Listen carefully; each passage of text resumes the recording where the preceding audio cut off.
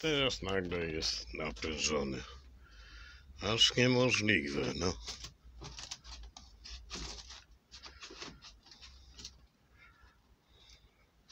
Co ten eter wyprawia?